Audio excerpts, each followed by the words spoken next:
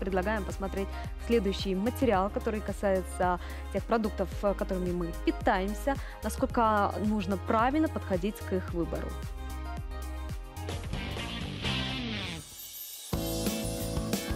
Томаты настолько полюбились россиянам, что сложно представить рацион среднестатистического жителя нашей страны без этих сочных ягод. А ведь нередко они богаты не только витаминами, но и высоким содержанием нитратов. Как же определить количество вредных веществ и обезопасить себя? Есть такие люди, которые очень сильно беспокоятся о своем здоровье, уделяя очень много времени выбору продуктов. Используют при этом э, специализированные приборы, они проверяют их на нитраты и пестициды. Другие же считают это нерациональным и просто руководствуются низкой ценой и внешним товарным видом. На прилавках огромное разнообразие сельхозпродукции, фруктов, овощей. Порой глаза разбегаются, попробовать хочется все.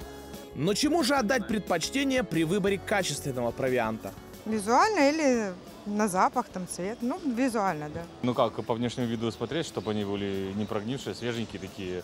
В основном все люди, покупая овощи, те же самые фрукты, все мы смотрим как бы на вид, что нравится, то берем. Я просто покупаю и не думаю об этом.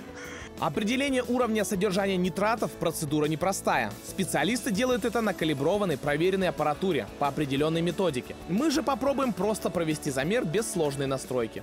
Тут у нас свежая рыба, помидор, огурец, яблоко и груша. Вот эти продукты мы отбирали при помощи специального прибора и потратили на это примерно около часа. Э, продукты в зеленом пакете мы собрали за 5 минут.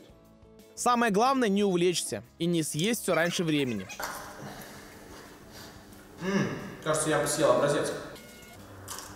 Довольно вкусно.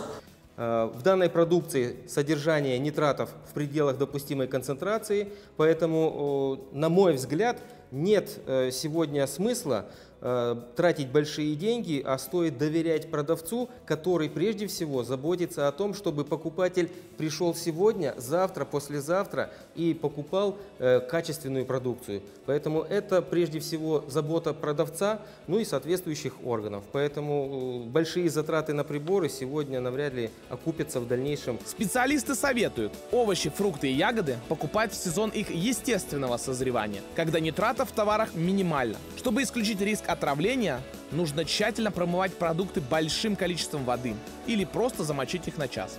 Александр Кононов, Сергей Козырь. Утро нового дня.